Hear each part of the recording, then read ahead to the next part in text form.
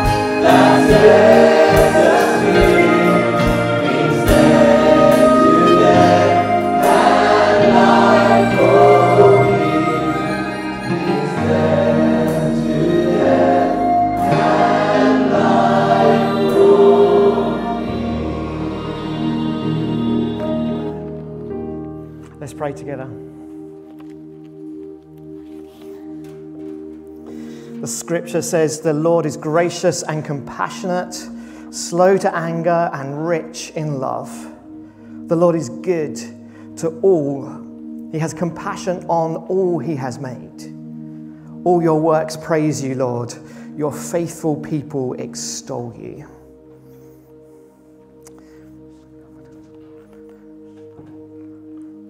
I want to remind you all that as we come to worship, we come in Jesus Christ and before Him,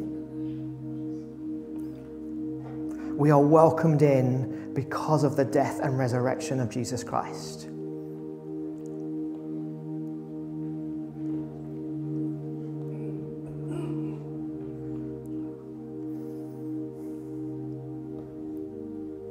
Father, Son, Holy Spirit, we are here to worship you. We're here to praise your name. You are our God, you are our King. And we are joining with the generations and even all those around the world today, with all of heaven and earth, to praise your name. For you are great and mighty and awesome in all that you do.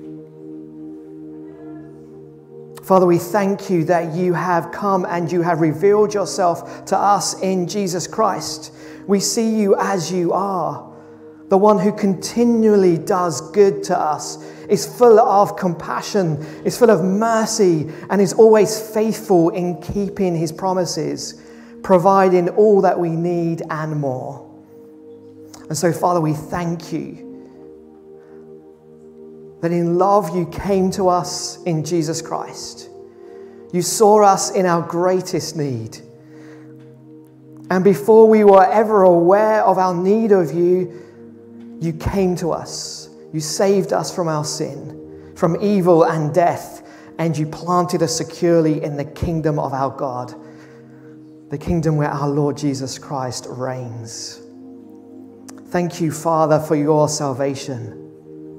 The death and resurrection of Jesus Christ is our good news, and it's changed all our lives never to be the same again, forever free to serve you and worship you in spirit and in truth. And we are grateful for the privilege that we have this day to gather together freely and to worship you, to give you your rightful praise. Father, we do pray as well that you forgive us all our sin, to wash away every stain of evil within us and upon us, and lead us towards the promise of everlasting life. Forgive us, Father, when we say with our words that you are Lord and we fail to do what you say. Forgive us when we say one thing and then we do another, affecting our relationships with each other. Forgive us when we walk by those who are most in need of our help and our blessing. We need new hearts. We need a completely new life. So forgive us all and have mercy upon us. And remember us in our weakness, we pray. Visit us afresh and renew a steadfast spirit within all of us. Father, we are reliant completely upon your mercy, upon who you are and what you have done. And so we trust in your forgiveness when we confess our sins before you. You are always faithful and just to forgive us and cleanse us from all unrighteousness. And we pray, Lord God, that we will learn to live as forgiven people, forgiving others as you have forgiven us. Father, we pray that in this moment you will pour your Holy Spirit upon each one of us. That you will form us into the likeness of Jesus. That you will give us courage to witness where you have called us and placed us. That we will be assured once again that we are children of God, here to praise you, forever secure in your love Fill us with your Holy Spirit, we pray. We thank you for your presence. You are here now. And so we praise you, Father, Son, and Holy Spirit, in Jesus' name. Amen. Amen. Do be seated.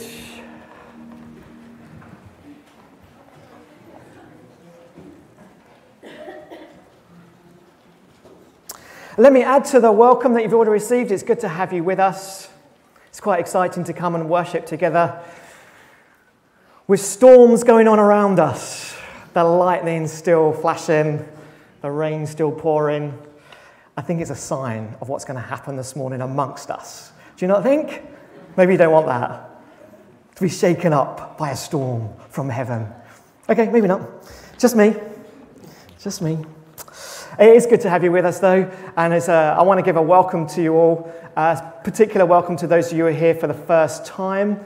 Uh, we love to have visitors amongst us. If you want to make yourself known uh, or you want to find out more about the life of the church, then the welcome desk is the best place for you to go to at the end of the service. But also after the service, we have refreshments and it's an opportunity for you to get to know others. We want to keep encouraging one another to build friendship amongst us. Um, and we need to keep working on that with intentionality. So do join us afterwards. Uh, welcome to those of you who are online as well. We are live streaming. Good to have you with us as well. If you are here for the first time, uh, loughtonbaptistchurch.org is the best place for you to go to. Uh, your questions will be answered, I'm sure, on the website, but otherwise you can use all that contact information and reach out. We see ourselves as one church, whether we're engaging online or we're here in this building right now, that the priority of worshiping Jesus Christ and witnessing for Him.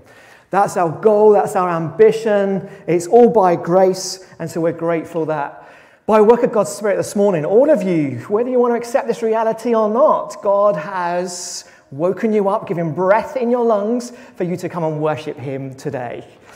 You are part of that miracle story of God. Can you believe that? That's exciting to be a part of that. A special welcome as well to uh, Steve and Wendy and the family who are here. They are friends and family members uh, from this, uh, connected to this church, and we've been supporting them in their work in Southeast Asia. And a part of the service, we're going to be hearing from them. I mean, I'm particularly grateful and ad- admire what's the word, uh, appreciative when people are on their rest time and are on kind of a vacation, holiday time, and yet they're still coming to tell us about their work and what they're getting up to. And so we're really grateful for these guys to be amongst us. Um, Steve's going to come and join us very shortly um, in the service. Um, whilst I can see you all, there are, um, if you want to move out of the overflow, you can do. I can see a few chairs here.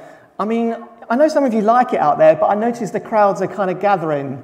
The crowds, not the clouds, are gathering. the clouds are outside. Uh, but if you do want, this, I can see a few seats here as well. People will move up, I'm telling you. Just nudge them out of the way, um, and they will definitely move along. Um, it will get cozier in here. You can't move out there. Does someone just kind of get up to go out? That's not the plan.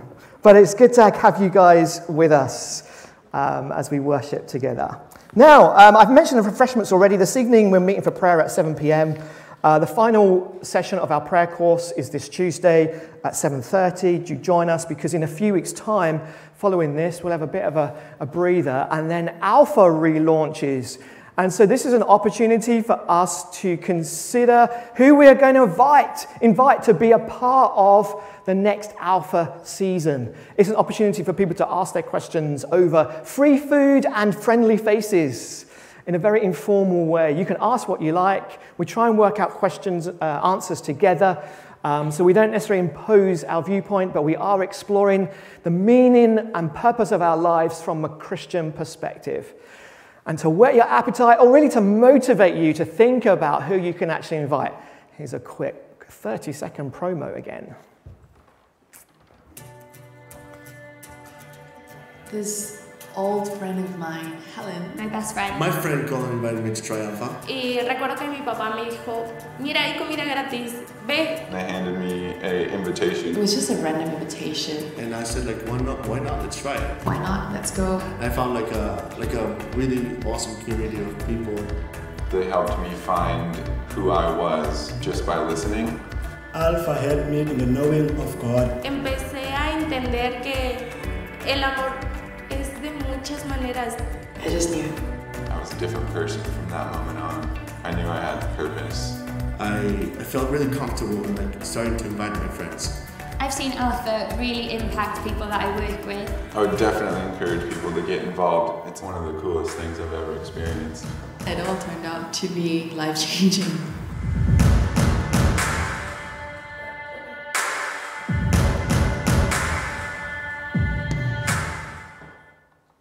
That's the question I'm leaving with you. Who will you invite? Alpha is pretty much successful based on the fact that it's about friends inviting friends to come along. So if you want to be a part, you kind of need some friends. I mean, this is why I preach on friendship a lot. It's a priority for us. Um, you, are going to need to find some. Yeah? Um, I don't know how you're going to go and do that. Go to your local gym.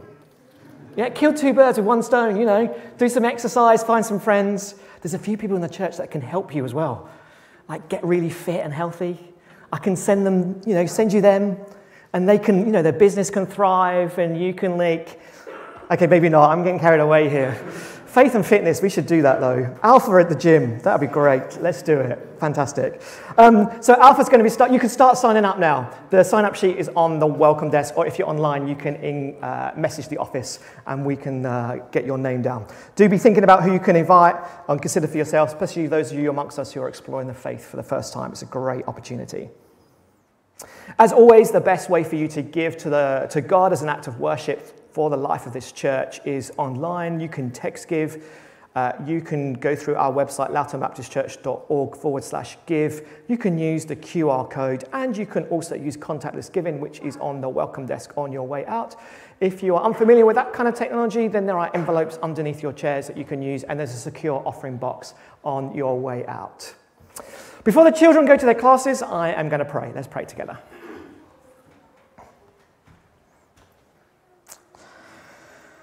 Father, you have given us your all. You have given us your Son, our Lord Jesus Christ. And from what we have received from you, we return with thanksgiving and we give gifts, tithes, and offerings. And we are longing, Lord God, that this money be used for your glory. Use it all, even that which we hold on to, use it all to that end, we pray. We pray as well that as we give ourselves to you, as we surrender our lives afresh, not just our material possessions, but all of who we are, we pray also that you may speak to us about the person or the people you are wanting us to invite to Alpha this term. Speak clearly to us as we seek your face, and provide us, Lord, with that opportune moment and the gracious words to then be brave and ask others to come along. Help us, Father, to serve you in this way leading us to the harvest that others have already labored for. We ask this in Jesus' name. Amen. Okay, our children and our young people can go to their classes. If you are visiting and you're wanting to know what the facilities are, go through this archway. Second door on your left are creche facilities, and the service is being re- relayed there. The following door are your three and four year olds, and the next archway will mean all other age groups. If you get a bit lost or you're unsure about where to go, uh, grab someone with a purple lanyard and they'll point you in the right direction. Again, just a little bit reminder that if you do want to move into this section, you are very, very welcome to. This will be a good time to do so uh, to save you, you know, being in the rafters, so to speak. Really excited that Stephen, Wendy and uh, if you're able to, let me invite you to stand as we sing a song together.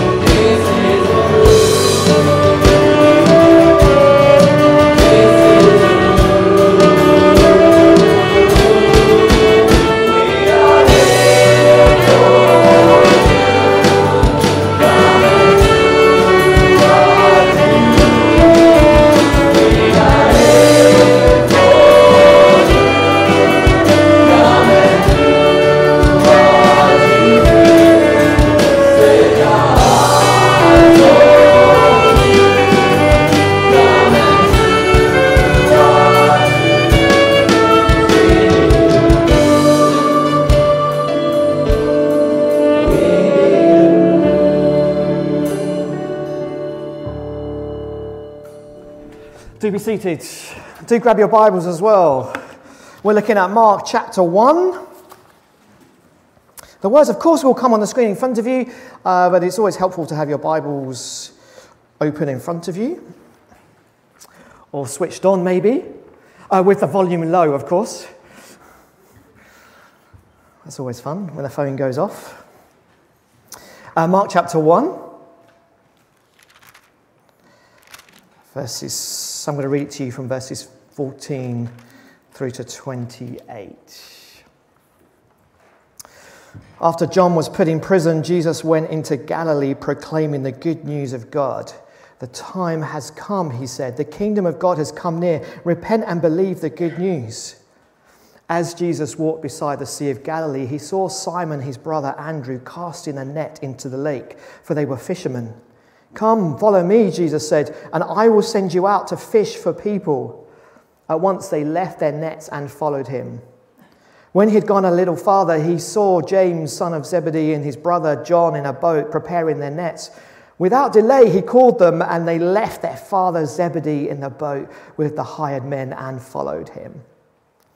They went to Capernaum, and when the Sabbath came, Jesus went into the synagogue and began to teach. The people were amazed at his teaching because he taught them as one who had authority, not as the teachers of the law. Just then, a man in their synagogue who was possessed by an impure spirit cried out, What do you want with us, Jesus of Nazareth? Have you come to destroy us? I know who you are, the Holy One of God. Be quiet, said Jesus sternly. Come out of him. The impure spirit shook the man violently and came out of him with a shriek. The people were also amazed that they asked each other, What is this? A new teaching and with authority. He even gives orders to impure spirits and they obey him. News about him spread quickly over the whole region of Galilee. Let's pray.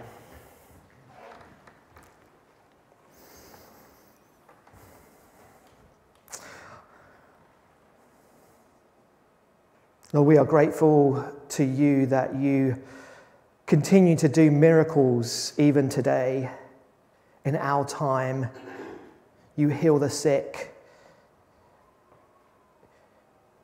you throw out evil, you raise the dead. All power and honor and glory belongs to you, Lord God. We pray that we will know that same spirit as we seek to listen in this moment. Open our ears and our hearts to the things of your kingdom, to your call upon all our lives, to follow you.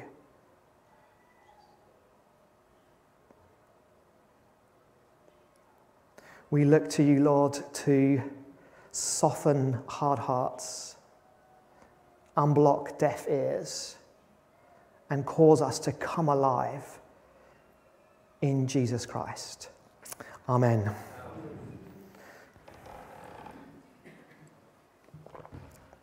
So, what would it take for us, for you, to drop everything, leaving behind your current life, and going on to something new? What would it take? For you to do that? What would it take for you to leave, for example, your current job to go in a new direction? Or what would it take for you to leave the current situation that you're facing, i.e., what is familiar to us, for the adventure of something new, albeit a little bit uncertain? Just so I'm not excluding anyone, I mean, what would it take for some of us to come out of retirement? I'm not looking at anyone in particular. An awesome job offer, perhaps. More money. An opportunity to live in a sunnier climate. Perhaps for a relationship. What about the hope of better health? Maybe something like a personal crisis draws us out towards something better with that sense of hopefulness that it all might be resolved. Or maybe our current circumstances are such that actually any offer would be enough for us to be drawn out of our circumstances. These are questions just to get us thinking about how extraordinary the response was of Simon and his brother Andrew, James and his brother John to the call of Jesus, Come, follow me. Jesus said this, and they did it. Simon and Andrew left behind their fishing business to follow Jesus. James and John left their father behind so they're leaving behind career and family to follow Jesus. It is a radical leaving behind to go into a potentially uncertain direction. Really sorry to stop again. I'm getting feedback again on my on here, and it's all like vibrating in my head. Is there any way we could do something about that? Okay, that's better for me. Is that okay with you? Can you still hear me? It's a little bit better for me, actually. Okay, we'll see. Oh, it's strange. You guys can't hear it. Oh, I'm on a whole new plane, a whole different level to you all. Oh, what's that mean? Oh. Anyway, we really need to create the kind of space that's necessary to see how extraordinary this moment is and let it impact us. Or at the very least, it needs to raise some questions for us. Okay? I mean, what were they thinking? They left their careers for this man, Jesus. Do they even know him? More than that, they left their families for this man, Jesus. Who is this man then? Why would they do this? I mean, these words of Jesus, follow me, it's coming across as not just an invitation, but in fact, it's a command to enter into a new way of living. Now, for those of us who are familiar with this story, we can read narratives like this and we can miss out on experiencing the intended impact. We can also be like those who believe we know everything about Jesus and what he said, and without realizing it, we put on him which is actually not true of him. And we all do this, and we all need to be alert to this. There you go, I told you, that was. it's all right, don't worry. It's all okay. Christian, non Christian, we put on Jesus an idea that we hold of him without evaluating it. Usually, we put on him the kind of person we want him to be, the kind of God that we want to worship. Sometimes, too, that's a projection of the perfect version of ourselves. We want him to be kind and we want him to be gentle. We want him to be generous. And we have a particular understanding of what that looks like in practice, usually expressed on how he says nice things, comforting things to us and about us, advising us when we're in difficulty, reassuring us when, when we need to be told things are going to be okay, a bit like a cheerleader or a wise sage. And we might want to respond by asking, but you know what? Is there anything really wrong with that? I mean, what's wrong with seeing Jesus like that? Does it really matter? Well, it depends on who Jesus actually is. If he is only a cheerleader or another wise sage, then yes, there's probably not much harm in creating an image of him in our preferred likeness. But if what Mark is telling us about Jesus is true, then it really does matter more than anything else in the entire world ever. Because from the beginning, Mark is telling us Jesus is God. In the opening verses that we looked at last week, Mark is telling us look, the Old, prophet, Old Testament prophets say Jesus is God. He then continues John the Baptist says Jesus is God. And in a way, when we looked at um, Jesus' baptism last week specifically, I mean, really, we're seeing there look, God is saying Jesus is God. And so, if all this is true, then what Jesus says has to be taken for what it is as well. This, this is a message from God directly to us. And this is why Mark writes his book of the life and ministry of Jesus to answer Jesus' question that he poses to us, which we'll get to at some point. And in so many ways, it's like the literary peak of, um, of Mark's gospel with the question, Who do you say I am? I mean, who is Jesus to you? Answer that question as Mark reveals, and everything makes sense. And that's what I want to spend some time doing over the next few weeks as we go through Mark's gospel together. Discover or rediscover who Jesus is, and by implication, ask a simple question so what? For those exploring the faith, this is an ideal introduction for us to be really clear on who Jesus is, and everything else, honestly, will make sense if we can get this question right. But it is as important for those of us who are more familiar with the faith too, perhaps even seeing ourselves as mature believers. We need to look again at who Jesus is to us, to be in awe and wonder, to open ourselves up to any possible blurred vision that we have, to expose ourselves to false, to allow ourselves to realize that we may be carrying false beliefs about Jesus. I mean, what Mark is telling us is like how we live our lives will tell us all what we think of Jesus Christ. How we actually see him will give us a good indicator on why we live as we are. So, to see him correctly as he reveals himself to be is only going to lead to faithful discipleship. So, with that in mind, then, consider this again the call of Jesus upon all our lives as we look at the call of Jesus to Simon, Andrew, James, and John. I mean, put yourself in that story for a moment. Note your reaction to that invitation, to that command, to those words. Jesus comes and says to us, Follow me. Are we those who, like these first disciples, are willing to drop everything and follow Christ? Are we more cautious?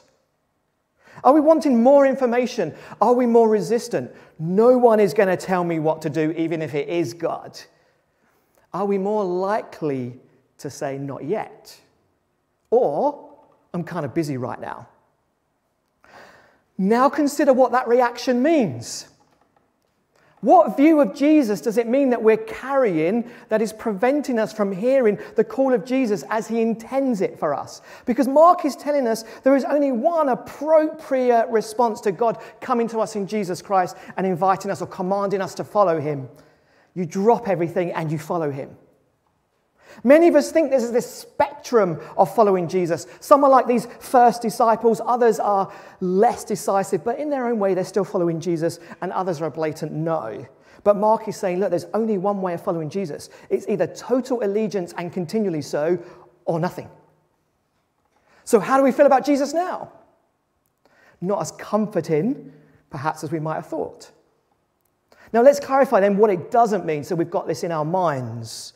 Because a call to follow Jesus is not necessarily meaning Jesus wants us all to leave our families and careers and never to return to them. For some, it does mean that, for sure. But we also know of how these first disciples, the story that we're looking at, they did leave everything at this point, but they remained connected to the family business and connected with their family.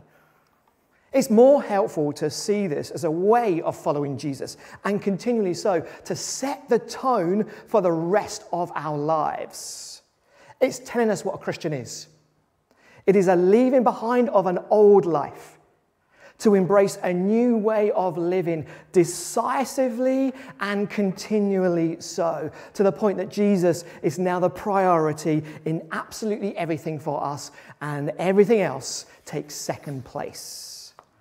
So, really, it's potentially more challenging. It's really not just about career and family, it's about all aspects of our life leaving behind bitterness, resentment, embracing forgiveness and joy. Leaving behind thoughts and attitudes that have been formed by this world to then embrace a new way of thinking and even feeling. Leaving behind, leaving behind a self centeredness to a Christ centeredness. It's about embracing a new purpose, having holy ambitions and godly desires. And that new purpose we see for these disciples, for us as well, is to fish for people. That was the language. Come, follow me, and I will make you fish for people. It's language, obviously, that I'm, as far as I'm aware, there's no fishermen amongst us. So it may be difficult for us to connect with what's taking place in this moment. But it's about becoming what Jesus is calling us into as much as what he's calling us out from. So, from the start, these disciples were given their call to follow Jesus, and they were told of their new life's purpose for them to enter into. which is actually what we've been talking about all summer. So I'm not going to dwell, dwell, too much upon this. We're invited into God, into a relationship with Him, and then we're sent out to let others see and know what God has done in our lives and what God is continually doing. But this invitation to fish for people or to be distinctive and set apart and lead others to Christ, we're not meant to be put off by this. Because there's actually, I, am unsure about why this is the case. I'm still trying to get to the bottom of this. There's actually a word missing from our translation that is actually in the original translation, and it's the word become. So it should actually read, I will send you out to become those who fish for people. It is telling us there's a process at play here. It is also telling us that this is Jesus' work to do in us, not ours. Jesus calls us to follow him and to then to be sent out to become like him that we may draw others in to do the same. It's saying, look, let Jesus do his work, you do your work, follow him. Make a decision for him, continually so, decisively so, resolutely, no ifs, no buts, and all this, therefore, will be by natural consequence. You will find yourselves, if you're taking this command seriously, follow me, and the real Jesus is before you, you understand what's taking place, you will find yourself by consequence leading others to become followers of Jesus Christ. It cannot not happen when we're following Jesus Christ. If you like, as I've said, it's this ongoing process of following Jesus to become who we are. Which means our effectiveness on becoming the person Jesus desires for us to be is dependent on the authority and power at work in us when we follow him.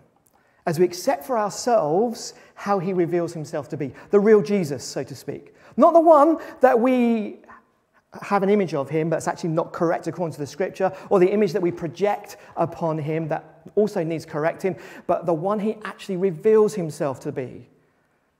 Because Jesus of the scripture, that invitation to come follow me, he's inviting us to change. To turn from what we are doing and embrace wholeheartedly what he is doing. And here's why. After John was put in prison, Jesus went into Galilee proclaiming the good news of God. The time has come, he said. The kingdom of God has come near. Repent and believe the good news. This is the why Mark offers us. Know your why, why it makes more sense for us. The kingdom of God has come near. So, the message that Jesus is announcing is the first reason why. Now, as is often the case, the first words of the main character of a book sets the scene for what is to come. And Mark is telling us that God comes to us in the person of Jesus Christ, and he has a message for us all, so you need to listen up. And the message is this the time has come. The kingdom of God has come near. Repent and believe the good news. Now, the kingdom of God, if we're unfamiliar with this language, is an all encompassing phrase that tells us of God's rule and reign and how it's to be exercised. Now, for Mark, in his, his immediate listeners, it was a phrase that embodied uh, all their hopes and all their dreams that one day God would remove all evil from the world and inaugurate a new unprecedented age of blessing, of prosperity, of joy. It had political, it had economic, it had social, as well as spiritual implications. And it does mean the same for us today as well. It is the hope that the rule of God would be restored over all creation, making all things new, undoing the powers of sin, darkness, and death, and replacing them with peace, justice, and the worship of the one true God. The world as we have known it is about to end, he's announcing, and it's time for us all to pick a side. That's the message. That's what we're needing to grasp. When? Now is the time. How? Repent and believe. What does that mean? Well, exactly what we've just been saying about the first disciples. Mark is a genius at this kind of stuff. He'll make this statement and he'll tell you exactly afterwards what it means to leave everything behind and follow Jesus. They left behind the old world and embraced the new at the call of Jesus Christ. This is the good news of God. He is on the move. He is making all things new through the person and work of Jesus Christ. This is God's time. This is God's moment. And He's coming to exercise His rule and His reign. And it is good news for sure, because it is a complete reversal of circumstances for those who hear the message for what it actually is and welcome it. It's the effects and the power of all evil in our world is going to be undone and overcome in the person and work of Jesus Christ. But this is also God's good news. This is the living God making this proclamation. It's saying the living God is on the move, making all things new through the person and work of Jesus Christ.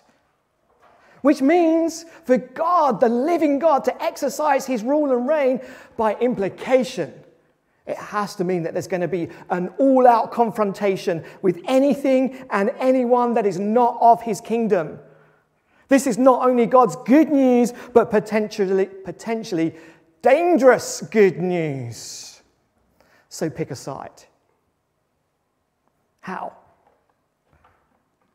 Come follow me, Jesus said, and I will send you out to fish for people. Can you see how Mark is writing this narrative and what he wants us to resonate with? I mean, it is a language, because of the language that's used here, it's quite unfamiliar to us. So, kingdom of God, repent, believe. These days, these terms have lost a lot of meaning for us. So, kingdom of God is pretty vague for, for if not all of us. Uh, where for Mark and his immediate listeners, it conjured up something. It resonated with them immediately so. Repent, I mean, that word in itself has arguably been softened to accommodate our hearing. And then believe, I mean, it's just a little fluffy these days. But we're not to be in any doubt. This announcement is God coming to us, and if we're wanting to experience the full benefits of the good news, the only right response that we can make is a decisive yes to the call of Jesus Christ the only way towards a kingdom of peace and justice and of ultimate security, albeit along a path that is potentially dangerous and scary. But what if the appeal of good news and the fears that then this raises within us, and the questions that are still going on in our minds, even this moment, about how wholehearted and decisive it is, the questions that it stirred, the concerns that we're having to face the hesitancies that we are carrying within us that are actually hindering us from saying yes wholeheartedly to Jesus Christ, what if all of that can be soothed and overcome? What if the one that I'm following, who invites me to follow him, is the one who has ultimate authority and power over all and everything that we'll face together, including the turmoil within us? Though the way of Jesus may be hard, what if we, it could cause all fears to subside, knowing that whatever comes our way, there will always be a guarantee of victory, even for us, over sin, evil, and death itself? And so Mark tells his next story. Jesus is teaching. The people are amazed at it.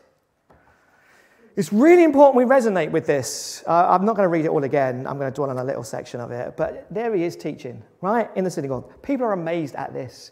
Not because of his charisma or his ability to entertain or to keep to a set 20 minutes with a nice PowerPoint display to make everything easy for us to understand. No, they were amazed at his authority. But not a classroom authority that keeps a crowd in order not the use of fear to suppress or oppress people, but one who speaks and teaches with such authority that even demons themselves are thrown out with a word from him. Be quiet, these words on the screen. Be quiet, said Jesus sternly. Come out of him. The impure spirit shook the man violently and came out of him with a shriek. The people were so amazed that they asked each other, What is this? A new teaching and with authority. He even gives orders to impure spirits and they obey him. I mean, there are so many remarkable things taking place in this moment, in this story, and we really need to, but we need to be drawn to what the people were amazed by the teaching that was with authority. Now, imagine the scene, right? The pastor's preaching. The pastor calls out a demon in that moment, And the thing that everybody is talking about afterwards is not the casting out the demon, but the pastor preaching. Because the people are left amazed at his teaching because he taught as one with authority. With a word, evil is thrown out. It is possible that we may have questions about what Jesus is actually doing in this moment. Or once again, we may be so familiar with this narrative that we're not allowing ourselves to see this for what it is. Because none of us can escape what Mark is telling us about Jesus and why Simon, Andrew, and John, um, they, they left everything to follow Christ. Everyone in Galilee at this time is hearing a message from God telling them that in the person of Jesus Christ, God is on the move, His kingdom has come, evil is about to be thrown out, peace and justice and all that is good will be restored. So pick a side now because you don't want to be on the wrong side of this. And then it's not just a message that they hear, but the effect of that message they actually see with their own eyes because they see evil being driven out in that moment. A demon is off, fleeing, running scared at the authority of the one with the message that the kingdom of God has come near, so choose a side. It is not only the most logical decision to make, but it's, a, it's that wholehearted response. It can only be understood when we hear and see the authority of the one who calls us to follow him. That's what's taking place here. How can any of us resist or turn down a call to follow from the one who is God Himself with a message and power that accompanies and points towards the end of what will be. Because do not be in any doubt, Mark is saying, God will exercise his rule and reign in Jesus Christ, and permanently so. And so there's only one right response to make when it's God Himself coming to exercise that kind of authority and that kind of power is to say, I'm with Jesus. I'm choosing Jesus. He's my guy. I'm going to follow him. I'm going to drop everything and follow Jesus Christ. Is this making sense to us? Because there will be people in this building and online who see themselves as exploring the Christian faith, potentially wanting to believe, but something is hindering that final I'm all in kind of moment Hear Jesus calling you because it is Jesus calling you. All the searching you're doing and all the wondering and all the wrestling is actually Jesus inviting you to follow him. Hear it for what it is because Jesus is continually saying to all of us, Come, follow me. Then there will be those of us who see themselves as followers of Jesus, and yet how we are living hasn't really been, well, it's more like a wavering between two worlds, between two lives. The old that we're desperately trying to, to leave, and the one that is enticing us, but it is actually raising a lot of fear, hesitancy. I can't even say the word hesitancy, which is kind of ironic as well, and indecisiveness. And Jesus is calling us to come, follow him. Choose now and follow Jesus Christ. And then for some of us, and I say this with as much love as I can muster up in my heart in this moment, some of us have been followers of Jesus for a while, and we really need to be asking the question are we still following Jesus? Because some of us are so reliant on a past confession that we may have forgotten that it's today and continually so we are to keep following Jesus. Now, how, how do we know this might be us? Well, little change in us would be a sure sign we've given up following Jesus along the way. We may be attending, but we're not actually engaging with God. We may be hearing His word, but we're not actually doing His word. We're not becoming like Jesus said we would become if we followed him, i.e., fish for people, be attracted to others, and leading people to Jesus Christ. We may say that we follow Jesus Christ, but that Christ likeness is still really hard to see because we're carrying bitterness, resentment, unforgiveness. We still grumble about the same things over and over again as if the past is still the present, and Jesus is calling us continually so to follow him today. So many of us forget that the call of Jesus Christ was not just for that time when we decided to give our life to Jesus, but it's today that He invites us to follow Him in everyday circumstances. And the reason that we're not seeing the power of God at work in us and the authority of Jesus Christ in our lives, pulling us out of darkness and letting us walk freely in the kingdom of God, is because we're relying on 30, 40 years ago and we're not allowing the Spirit of God to work in us today. To hear the invitation in our workplaces to follow Jesus Christ to hear the invitation from Jesus Christ in our homes to follow him. Today, it's not just being about a follower of Jesus, it's about following Jesus. It's not just about having a title, I'm a Jesus follower, and telling everyone about it. It's about being present today and following Jesus, come what may, decisively so, wholeheartedly, laying down our lives, prioritizing Jesus and his kingdom and what he is doing above everything else. That is the good news of God. That is the decisiveness that God invites from us. There is no other response to make to this when you know who Jesus is. The one with great authority and power to even drive out evil. God is God of all our lives and all of life. And so it is a daily response we make to that moment by moment call from Jesus saying, Come, follow me. And though that choice, because it is a choice, comes with its challenges, we admit that it's difficult. Remember the one that calls us Jesus Christ. Not just a cheerleader or a wise sage or a good teacher, but God Himself all authority, all power belongs to him. He is on the move. The kingdom of God has come in Jesus Christ. We need to pick a side. And we need to pick today, and we need to continually pick day by day to choose to follow Jesus Christ. Never stop making that choice. Jesus Christ, God Himself comes and invites us all to follow him and to never give up doing so. Let's pray.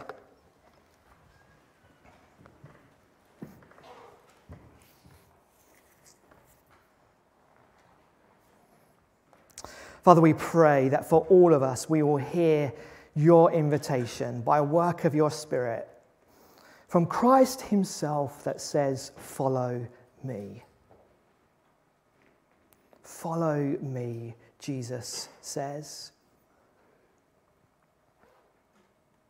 And I will lead you to become people who fish for others, who see the good news of the kingdom and join in with what God is doing.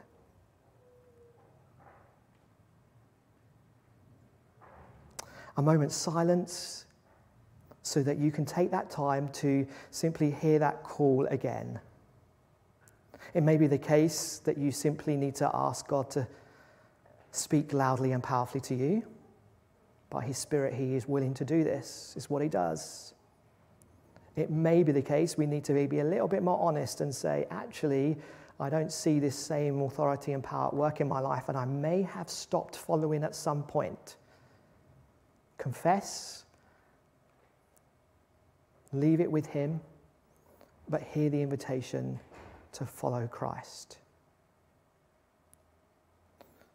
And it may be the case that actually we see ourselves as unbelievers, but we're exploring, we're wanting to know faith in Jesus Christ. We're wanting to know the power of God. We want to hear Jesus' voice for us today. Well, He is speaking to you. So it's an opportunity in this silence to make a response to that.